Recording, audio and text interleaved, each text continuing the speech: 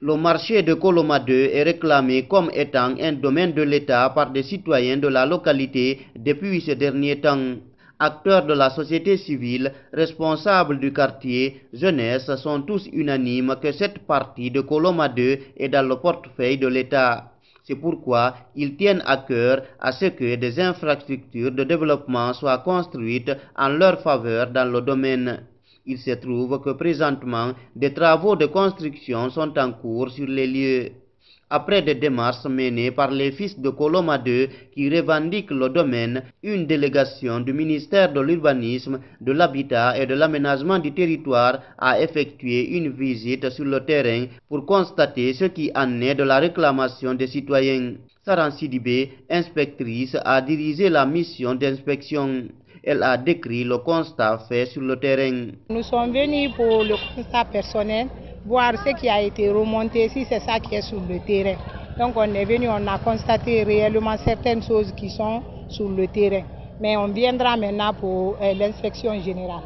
De quoi il s'agit réellement? Bon, il s'agit des occupations et une archive qui est sur le terrain, sur le domaine d'État et que des personnes physiques se sont accaparées. On est venu pour constater ça, voir si c'était réel ce qui a été dit.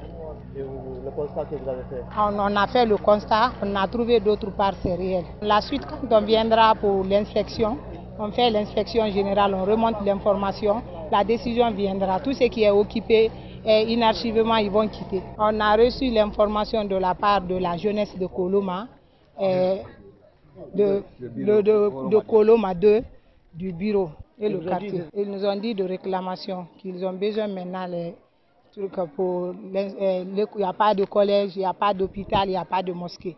Donc ils ont besoin de leur domaine, bureau de quartier et tout et tout. Le manque d'écoles publiques suffisantes, surtout les collèges et lycées sur l'axe La Route Le Prince, est la grosse préoccupation de ces porte-voix de la commune de Ratoma.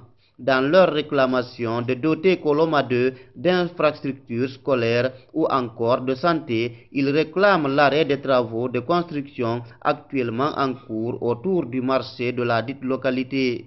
Ibrahim Silla Diallo est conseiller à la jeunesse de Coloma 2. Il explique.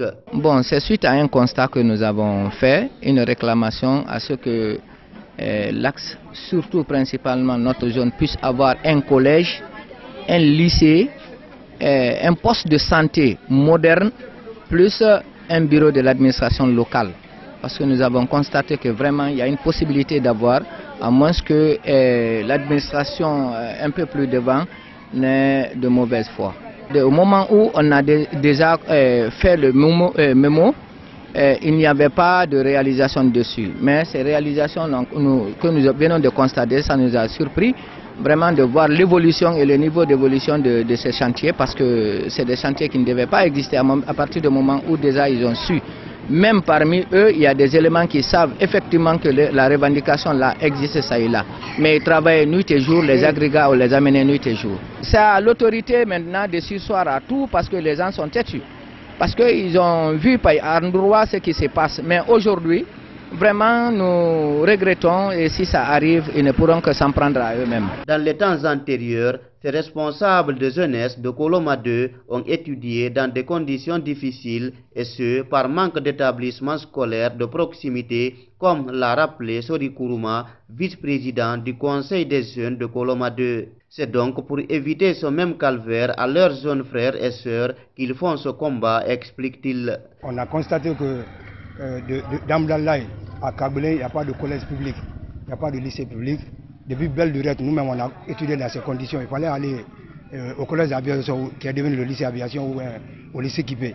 Donc on a constaté, on a demandé à ce que euh, la, jeunesse qui est tant décriée par les autorités politiques et administratives de, de, notre axe puisse avoir accès aux études, aux très bonnes études. Et cela ne peut pas se faire sans pour autant la construction des grands lycées, des grands collèges. C'est pourquoi on a euh, ciblé un coin. Et c'est euh, ce, territoire-là que les gens appellent le marché. Auparavant, ce n'était pas le marché, c'était le radar. C'est ici où il y avait euh, les, anciens- les anciens armements de l'armée guinéenne qui étaient là. Par après, on a construit un terrain. Et c'est dans les années 90 Ici, on a érigé un marché et il y a de la place, il y a de la place pour construire euh, euh, des infrastructures dont nous manquons ici, à savoir les centres de santé, euh, un collège un lycée, une mosquée, et un bureau, un bureau du conseil de quartier. C'est pourquoi nous sommes levés pour rencontrer qui de droit afin qu'on puisse être rétabli dans nos droits. Elhas Demba Kamara, le président du conseil de quartier de Coloma 2, dit n'être informé de rien par rapport aux constructions qui sont en cours au marché de sa localité. Selon lui, cette partie relève du portefeuille de l'État. Moi, je ne sais pas, on ne m'a pas informé. Ceux qui sont en train de construire ne m'ont pas informé. Et l'administrateur du marché ne m'a pas informé. Le commun même ne m'a pas appelé pour m'informer. Il y a ça et ça dans ton quartier. On dit non, ici ça ne concerne pas le quartier mais ça concerne seulement l'administrateur de Marseille et la commune. Je dis bon, d'accord, tant mieux, c'est comme ça. Je connais, je demande là jusqu'au bord de la route de presse, je connaissais comment il est. C'est pour l'État ici.